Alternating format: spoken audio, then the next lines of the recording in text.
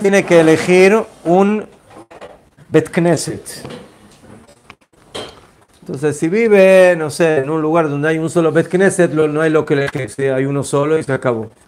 Pero cuando una persona tiene a su alrededor 10 Bet Knesset, entonces, ¿cómo elige el Bet Knesset a dónde va a ser Tfilah? ¿Cuáles son los parámetros para elegir un Bet Knesset?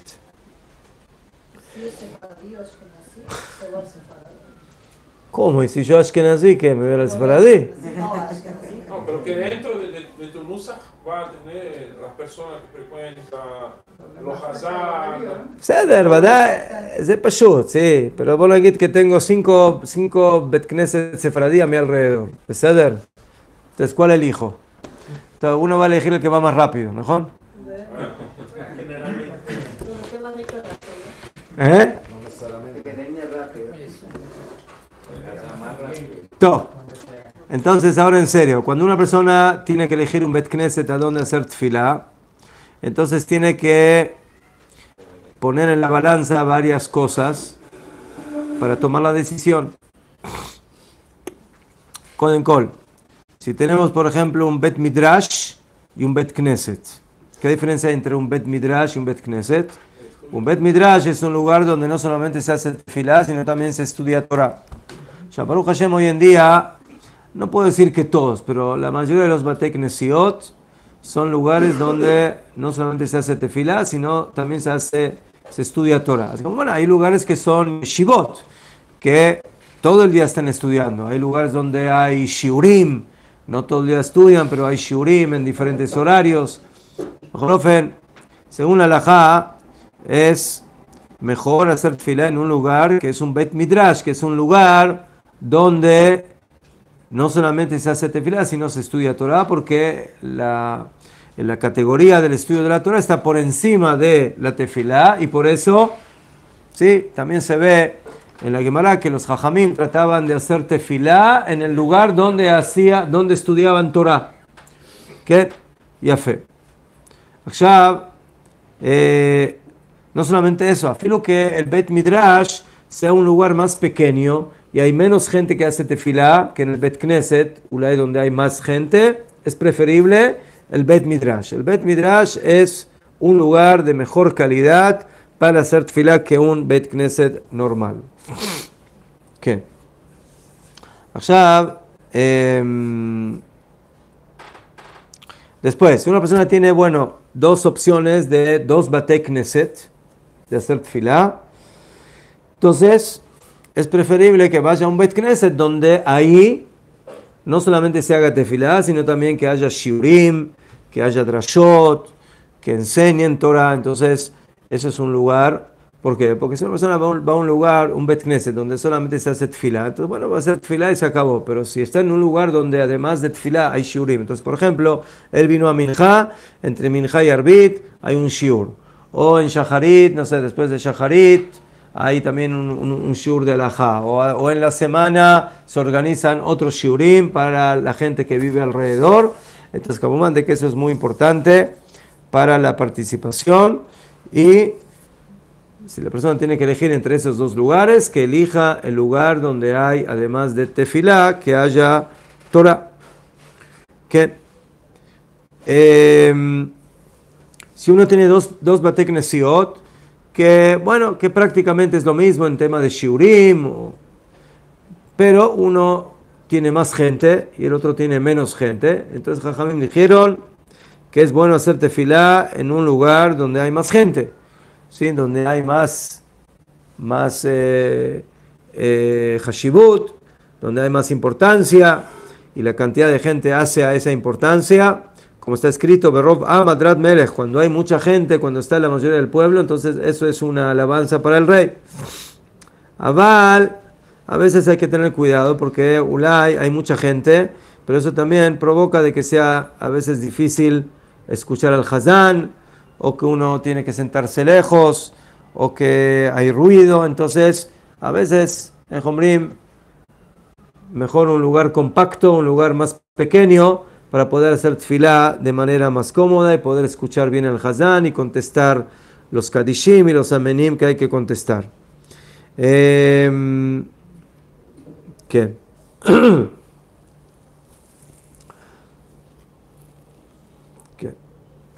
Muy bien. Ahora, eh, otra cosa, Kamuman, es el tipo de gente que va a hacer tefilá de ese Bet Knesset. Si uno tiene dos Bet Knesset, en un Bet Knesset, Baruch Hashem, la gente es respetuosa, la gente viene a hacer tefilá, la gente está en silencio, la gente respeta el lugar, se comporta como corresponde. Entonces, eso es, ese es un tipo de Bet Knesset. Y después hay otro Bet Knesset donde la gente viene a hacer tefilá, pero además de hacer tefilá hace otras cosas, ¿sí? Platica con el vecino y habla de política y habla de esto y habla de Kolmil Barim. Entonces, y empieza a ver sus celulares en la mitad, sus WhatsApp y sus eh, cosas. ¿Quién? En la mitad del shiur, ¿ajón? En la mitad del shiur, en la mitad del shiur, entonces hay que dejar el celular en la mitad del shiur y, poner atención, y a fe. Entonces, eh, entonces hay que tener, eh, hay que saber elegir. Entonces, si una persona tiene un Bet Knesset, donde la gente, Bemet, el ambiente de la tefilá es más sagrado, es más profundo, es más respetuoso, entonces hay que, hay que elegir ese tipo de Bet Knesset. Y no ir a un Bet Knesset donde el ambiente es más no tan adecuado en lo que se refiere al cabot que se le da eh, a la tfila. Ese es uno de los puntos más importantes que hay. Eh, la cabana de la tfila, sabemos que es el alma de la tfila.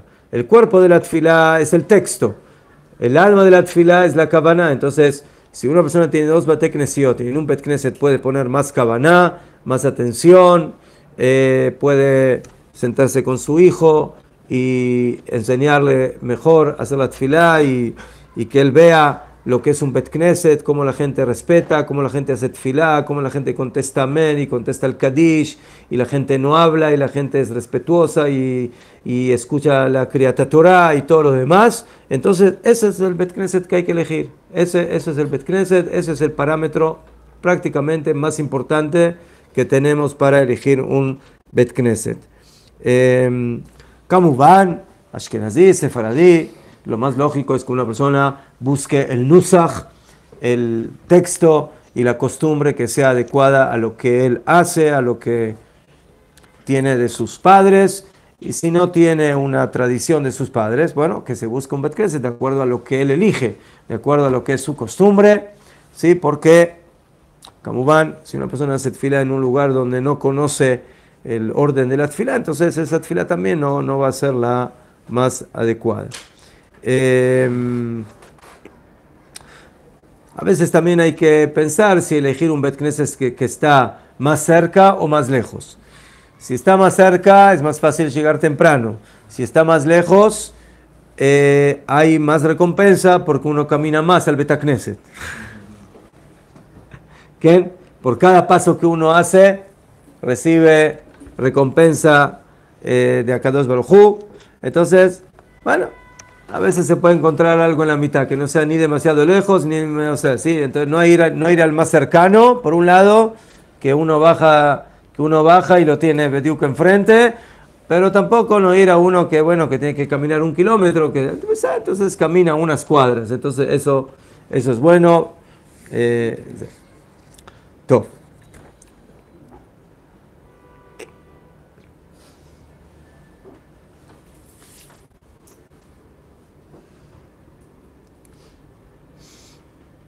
Otra alhaja que tenemos en el Talmud y en el Shulchan Aruch es de que la persona no tiene que hacer tfilá en un lugar alto.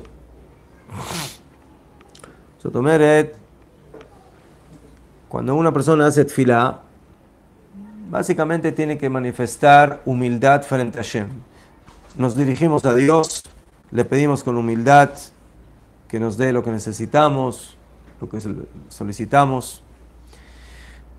Entonces, por eso dijeron Jajamim que la persona no se para en un lugar, ¿sí? Eh, no sobre una silla o sobre un lugar que es una tarima que salta y que haga tfilá. ¿Por qué? Le fiche en gavhut porque no hay soberbia frente a Akadosh Baruchu. Como está escrito en Teilim, Shira Ma'alot, Mima Makim, Kratija Hashem Cántico de las alturas, desde las profundidades te he llamado Hashem. ¿Qué es de las profundidades? Profundidades es un lugar bajo. Esa bajeza no implica solamente una bajeza geográfica del lugar, sino también de nivel a nivel de nuestra relación con Hashem, de humildad frente a, a Kadosh Baruj Hu. ¿Qué? de que el Betacneset está escrito que hay que construirlo en el lugar más alto de la ciudad, así está escrito. Lejatejirá, ¿qué? Para darle cabot, para darle honor, para darle alteza al lugar donde nos reunimos para dirigirnos a Hashem. Pero cuando ya estamos dentro del Betacneset, la persona misma tiene que estar en un lugar que manifiesta humildad. Y por eso no hay que hacer fila en un lugar alto. ¿Sí? Eh, una vez estuve en un eh, Bet Knesset, si no me equivoco, en Aco, justamente Aco. Que y en, en Aco hay un Bet Knesset del, donde hacía fila el Ramjal. El Ramjal en sus últimos años de vida hizo, vino a Eretz Israel y vivió en Aco. Y ahí se ve como había un lugar, quiero tipo un pozo un lugar bajo donde se ponía el hazán a hacer tfilá. Y eso era para cumplir con esta alajá que mi mamakim desde las profundidades yo te llamo Hashem. ¿Qué? Ya fe. ¿Está el ¿Calmos? ¿Ya llegó? Bueno. Yofi, entonces aprendimos un poco de la Joya Tefilá y los dejo con el Rav Kalmus. Por el mismo programa, por el mismo canal.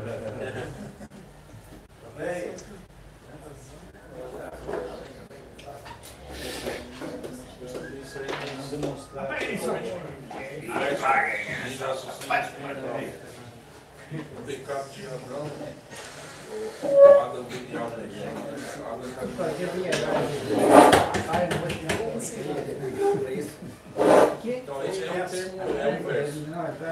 É o que é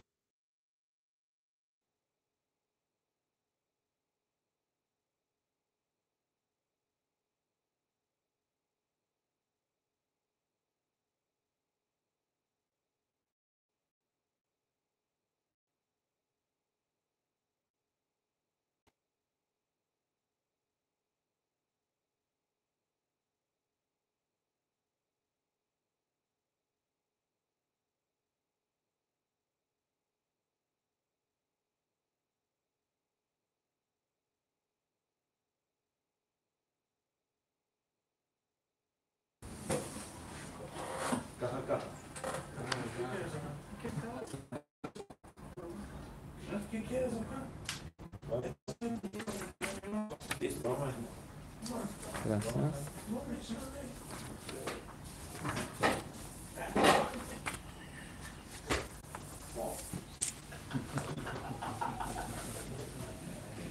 vamos a empezar el capítulo Yud en el Tanya. Y estamos hablando más una vez de la fuerza del hombre de cambiar sus fuerzas. Eh, se dice que el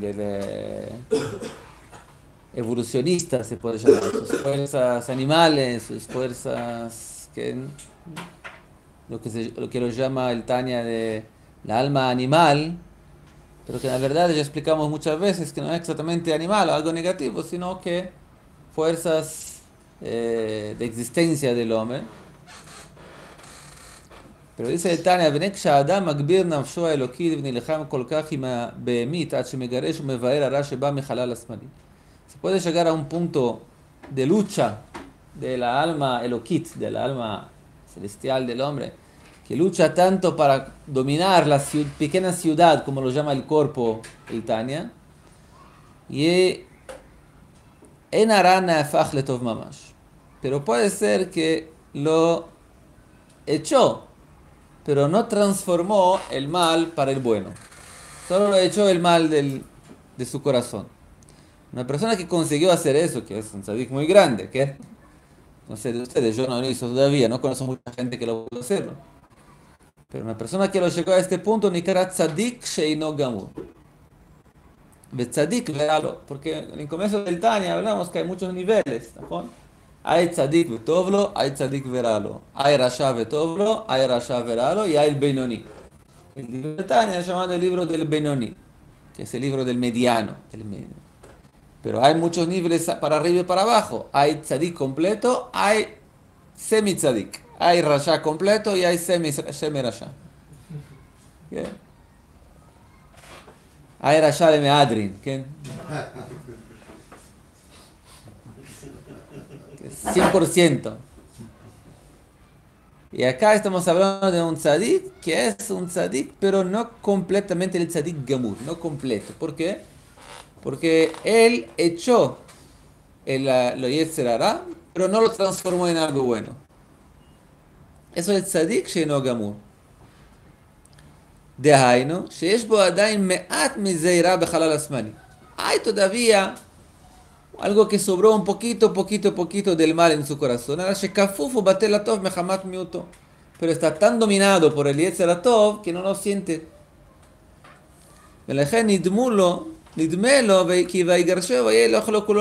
Por eso, puede ser que ese tzadik tiene la sensación que lo echó completamente, que no existe más un Yetzerara dentro de él. O sea, puede ser que muchas veces el tzadik, veralo, el tzadik no completo, imagina que es un tzadik completo ya.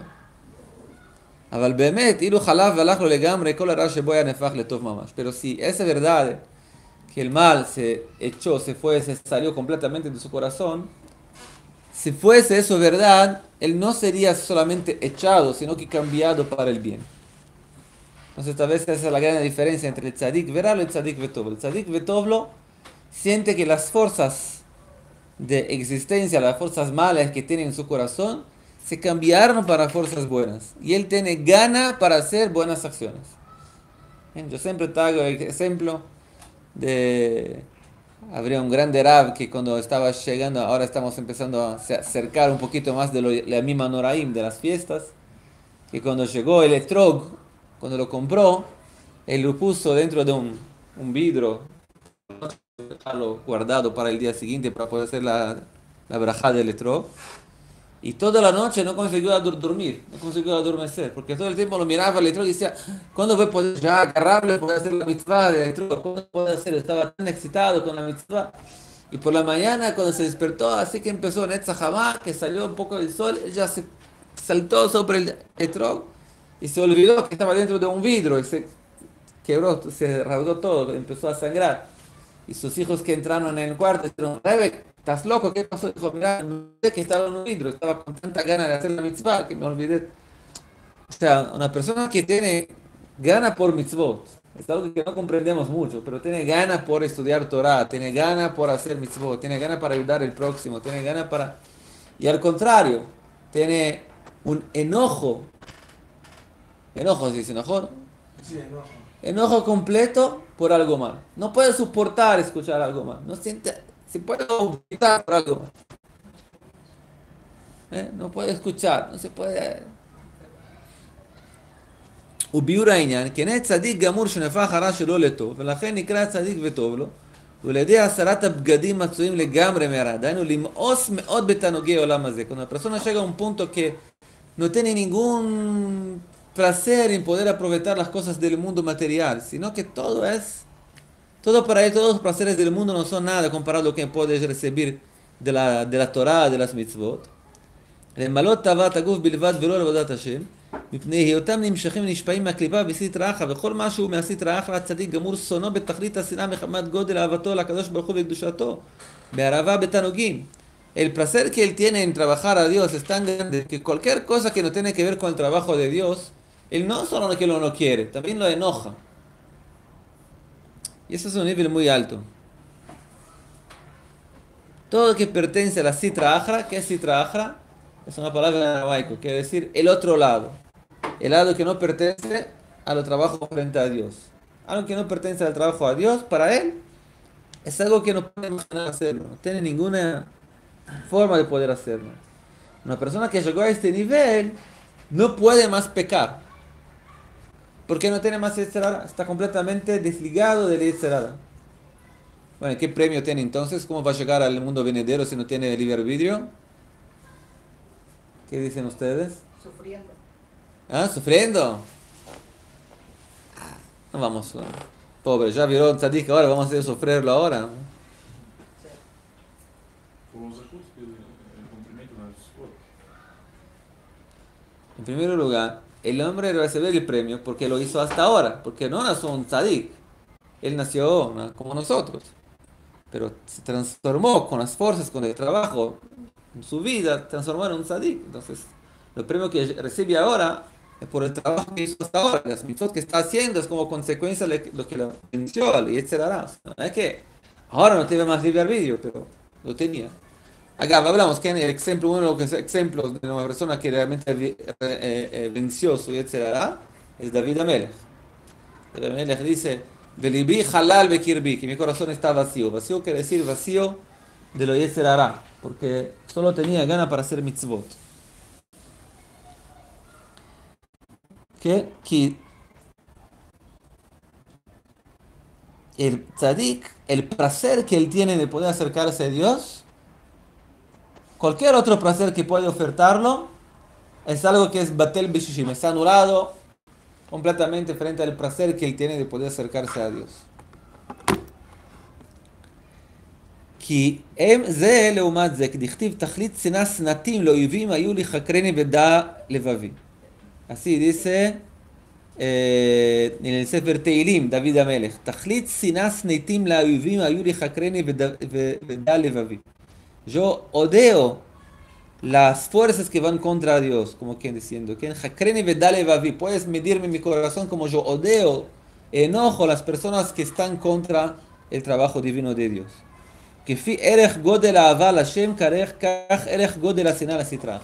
Cuanto más una persona ama a Dios, cuanto más él enoja a todas las fuerzas que están contra Dios. Entonces, tal vez ¿cómo podemos medir un poco cuánto amamos a Dios? Podemos mirar cuánto odiamos quien está contra Dios. O que fi erech godel Hashem, Hashem kach erech השנאה סטרחה. והמיאוס ברא בתכלית. כי המיאוס הוא הפך אהבה ממש כמו השנאה. וצדיק שאינו גמור, הוא שאינו שונא הסיטרא אחרא בתכלית השנאה, ולכן אינו מואס גם כן בהרע בתכליתו.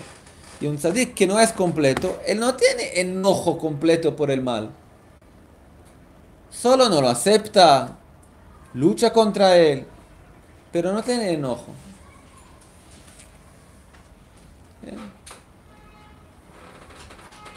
Tal vez por eso, lamentablemente, nosotros muchas veces podemos nos acostumbrar a ver cosas que están hechas contra Dios y no nos, no nos no hace nada, no nos disturba nada.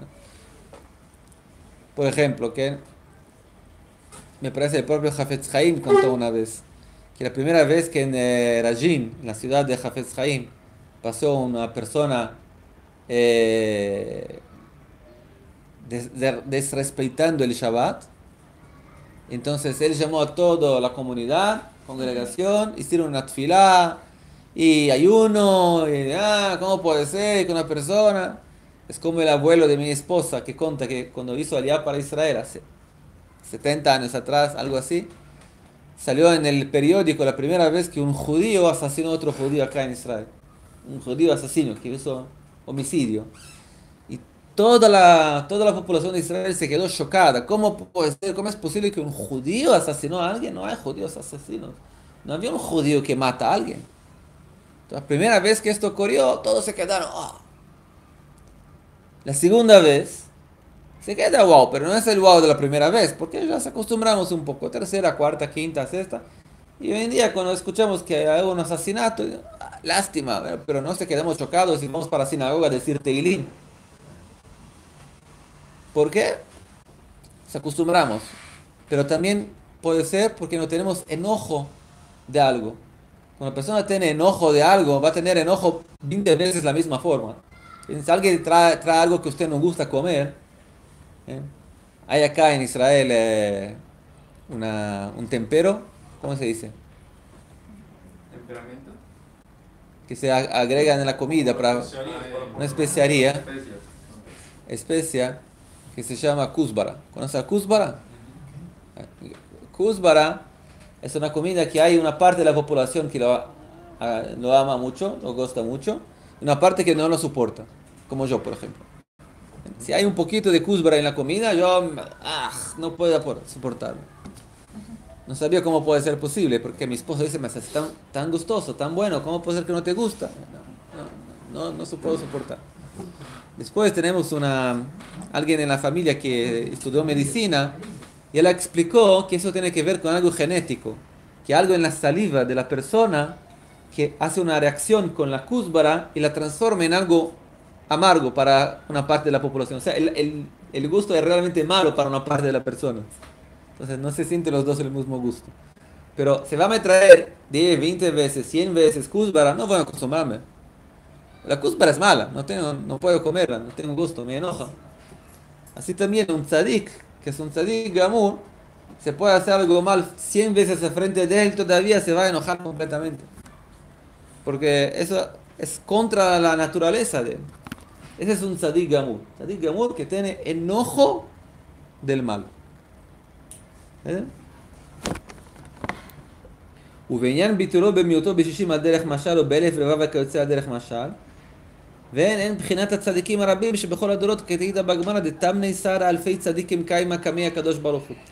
Puede ser que hay un tzadik, ahora está hablando de los tzadikim enam gmurim, que no son completos, que tienen un 60% de Yetzirah. Otro tiene un 120%, otro, otro un no sé.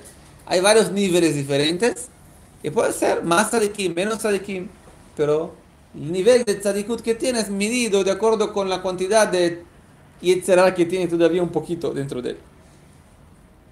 Y eso que se dice en la Gemara, que hay 12.000 tzadikim en frente a Kadosh Baruch Hu. Como quien diciendo ahí, eh, Tamneis Alfei tzadike, es decir, 18.000 tzadikim en la generación probablemente que son tzadikim logmurim. Porque tzadikim gmurim se acostumbra decir que hay la medvav tzadikim, son 36 tzadikim solo. Que son los tzadikim que realmente tienen enojo por el mal. Ajalmalat tzadik gamur, pero una persona que es completamente un tzadik, Ushamar Rashbi, Rabbi Shimon Bar Yochai, Raiti Bnei Aliyah, ve Muatim. Un tzadik gamur que tiene enojo por el mal, que no tiene ningún porcentaje de mal en su corazón,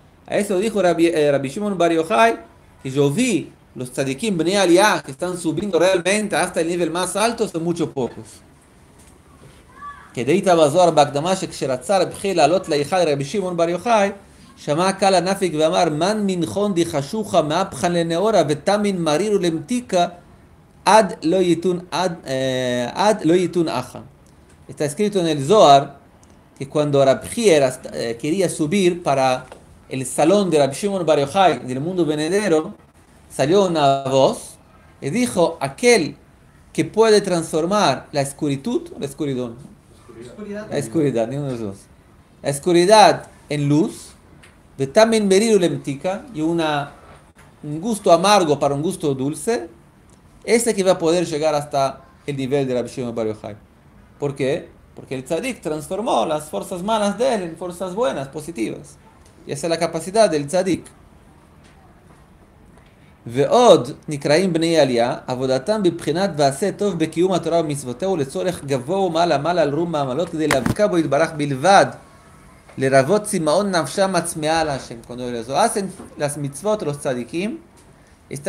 Todo intentando con una gana de poderse acercarse a Dios. ¿Ok? Es una gana por Dios. ¿Ok? Eh, el Rambam escribe en el Sefer Amadá, en el comienzo del primer libro, cómo se puede llegar a un amor, qué es un amor verdadero por Dios. Y él compara el amor por Dios como un amor de un hombre por una mujer que está loco por una mujer. Solo piensa en ella todo el tiempo, imagina todo el tiempo y está dispuesto a hacer todo para poder encontrarse con ella. ¿Y cómo se puede llegar a un nivel tan grande de amor por Dios? Bueno, es un trabajo de la vida, pero el Rambam escribe que hay que mirar, hay que eh, eh, perceber la grandeza de Dios en el mundo, la grandeza de la inteligencia de Dios en el mundo. Cuando una persona comprende la grandeza, la inteligencia de Dios, naturalmente se va a despertar una gana, un placer por intentar entender qué es esa grandeza, se conectarme a algo tan grande así. Rob, te pregunto, entonces, ¿qué sucede con aquellas personas, o bueno, lo que enseñan los sabios de que nosotros nunca vamos a poder llegar a entender a Hashem? Usted pregunta si vamos a poder llegar o no vamos a poder llegar. Las dos. Las dos. No, el, el Tania va a escribir más adelante que el nivel del tzadik gamur, tzadik vetovlo, el tzadik super super como hablamos, ese es un nivel que se puede llamarlo genético, no se puede cambiar. Una persona cuando nació, o nació con el potencial de ser un tzadik gamur, o no nació con potencial de tzadik gamur. Una persona que nació con potencial, se puede con mucho trabajo llegar a un tzadik. Pero una persona normal como probablemente nosotros, muy probable que no tenemos la capacidad de llegar al nivel del tzadik gamur. ¿A qué sí podemos llegar? Tal vez hasta el tzadik sheino gamur, pero la mayoría de las personas del mundo van a se quedar tal vez en el nivel muy alto de acuerdo con el Tanya del Benoni. Por eso el Tanya lo llama, llamado el libro del Benoni, como que diciendo, se puede llegar al Benoni, ese es el nivel más alto que la mayoría de la humanidad puede llegar. Porque el Benoni que vamos a ver adelante es un hombre que no peca, también por el amor a Dios, pero siempre está en lucha. Le con cuesta trabajo. no es Le como- cuesta trabajo a no pecar. Está siempre luchando. Pero luchando y venciendo. Sí, sí. Él tiene lucha y vence, lucha y vence, lucha y vence. En verdad, el Rebbe escribe también que la situación, la posición del Benoni se puede cambiar por tiempos. Por ejemplo, yo me recuerdo de tiempos que yo era un Benoni en mi vida y hay momentos que no soy un Benoni. o sea, puede ser que hoy soy un Benoni. ¿eh? Siempre cuento que me recuerdo cuando estaba en la Yeshiva, cuando llegué en Israel, a los dos- 17 años. Entonces, eh, yo llegué muy a cero la Yeshiva. Llegué en la Yeshiva de Beitel. Yo quería, yo llegué en Israel con la concepción directa que mi papá, bendita memoria, me enseñó. Él dijo, mira, usted va para una Yeshiva, tienes que trabajar un año para poder saber estudiar una página de Gemara como un judío tiene que saber. Y yo llegué en la yeshiva, estudiábamos todo el día, de la mañana hasta las 10 de la noche, casi sin parar todo el día. Mamás estudiábamos cabruto y todo. Y con trabajo duro, mamás trabajo duro. Me recuerdo que fue un, fue un esfuerzo muy duro para mí, para hacerlo. No era... Y yo me recuerdo cuando llegó la primera, el primero Yamim Noraim, Yom Kippur, Rosh Hashanah, Yom Kippur, se acostumbra entonces la gente, los, todos los, los llevó, hacían una lista pequeña para escribir los pecados que hicieron durante el año para poder pedir disculpas para Dios en, en Yom Kippur. Sí, hay costumbre que se puede anotar una listina para Yom Kippur pedimos perdón para Dios. Y yo llegué y me dijeron, ah, sí se hace, sí. Bueno, voy a empezar a pensar, ¿qué hizo mal para Dios este año? Pensé, pensé, pensé, y no me pasó nada en la cabeza que pueda escribir. No porque soy un tarik, porque estaba en una posición, en una yeshiva, con un ritmo tan grande de estudio. que- Dijo, ¿qué voy a decir? Que no estudió, no estudié lo que podía estudiar. Me parece que estudié lo que tenía fuerza para estudiar. Más lo que eso me quebraba, no sé. ¿Qué más? Que, que comí demasiado. ¿Cuánta comida ya había allá en la yeshiva? Comíamos pan y un poquito, nada. nada. Siempre se puede encontrar algo, pero me parece, de acuerdo con mi nivel, no tengo lo que pedir disculpas. No me siento la necesidad de pedir disculpas para Dios. Me recuerdo la sensación que entonces Yom Kippur dijo, bueno, voy a pedir disculpas para el pueblo de Israel, entonces, para toda la populación, para que el mundo tenga selijá, no sé qué. Entonces, se puede decir que en aquel tiempo yo era un Benoni. Un Benoni que estaba tan tan conectado con la Torah en aquel tiempo. La Torah también puede traer protección para malos pensamientos. Estaba tan conectado con la Torah que Baruch Hashem no tenía problema con el Yetzirah. Después de dos años y medio en la yeshiva, me fui para la universidad para estudiar computación. Llegué más una vez y Yom Kippur dijo, oh, ahora sí. Ahora ya no soy más Benoni. Ahora hay mucho para escribir en el papelito. Ahora hay mucho para se preparar para Yom Kippur. ¿Qué pasó? ¿Sos Benoni o no sos Benoni? Por veces sos Benoni. Y a veces que no sos Benoni. En la yeshiva era Benoni. Ahora soy menos Benoni. Cierto que cuando estás en el día a día, en el mundo, luchando para sobrevivir, es más difícil ser Benoni. Pero es posible también. ¿eh? El, objetivo del Tanya es que usted sea, vamos a decir así, el máximo posible que seas un Benoni. ¿eh? O, como hablamos, Raba, que está en el comienzo estudiamos, era un Benoni continuo, todo el tiempo Benoni. Que está el tiempo todo luchando para poder hacer la- las mitzvot.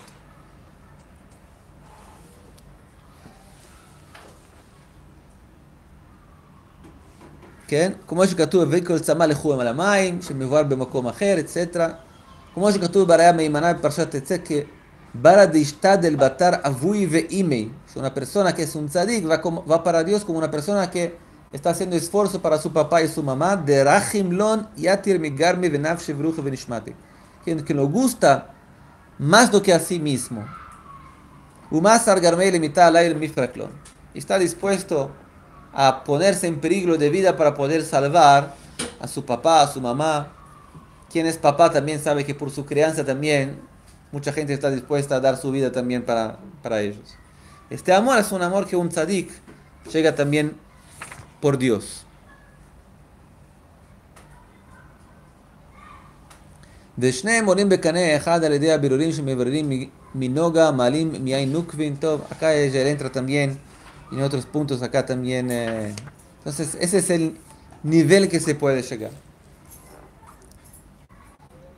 Última cosa que es importante también imaginar es que está escrito también en el Tania que es posible que una persona que no era un tzadik, que no nació con un tzadik completo, con la capacidad de llegar por un tzadik completo, se puede cambiar en un tzadik completo. ¿Cómo eso es posible? Entonces, él dice que una persona que hace esfuerzos para ser un tzadik completo, todo el tiempo está luchando con una fuerza increíble contra el Yetzerara. Y luchando y, y quiere y, tiene una voluntad muy grande de ser un tzadik completo. Entonces dice que puede ser que Dios, Dios va a ayudarlo a ser un tzadik completo, lo agregando una esencia de una alma de un tzadik para que se junte a él. Eso que lo se llama en la Kabbalah Ibur. Ibur es una conexión entre dos almas. Y de repente la persona puede sentirse está conectada con, recibió si fuese una gasolina nueva, que una energía nueva, y se siente que se cambió completamente. Eu já li no livro que isso aconteceu com Pinhas, que a alma de a, a Dália vivo acorpou a alma dele. ¿Se andaba viuda acá? No recordaba. Pu- Puede ser. Puede ser. Tire, lo vemos muchas veces que una persona se entrega completamente para la voluntad divina, entonces tiene fuerzas, recibe fuerzas sobrenaturales más. En, todo el libro de jueces está escrito que cuando el juez, perdón, que no era profeta todavía, de repente estaba dispuesta a ponerse en peligro en la guerra para poder ayudar al pueblo de Israel, ahí está escrito, "Venach alav ruach Hashem", que se pasó sobre él un ruach Hashem, espíritu divino de Dios. Ese espíritu divino es una fuerza, una energía especial que Dios lo entrega porque él estaba dispuesto a entregarse tanto al trabajo de Dios, Dios también lo ayuda. ¿eh? O como dicen nuestros sabios, abale y taer mesaili- mesaimlo. Una persona que viene a purificarse, Dios lo ayuda a hacerlo. Así que llegar a un punto de un tzadik es un punto que no se puede llegar solo.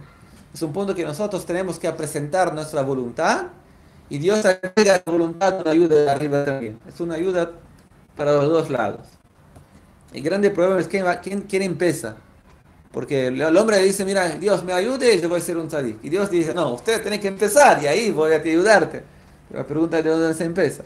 Esa es la discusión eterna que hay, que se trae en Masejet Brajot, que el pueblo de Israel dice para Dios, "Ashiveinu Hashem Elokecha ben Ashuva".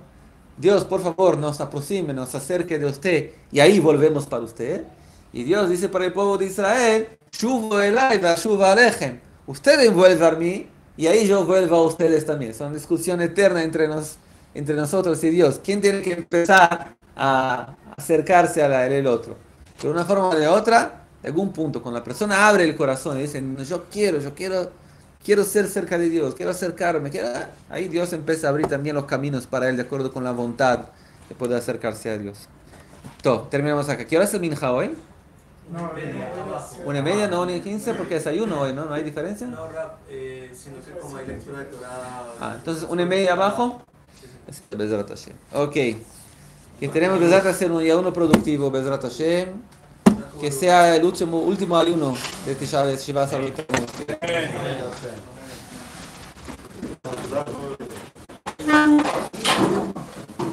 Como vai? As papéis da... Eu tô pedindo socorro, né?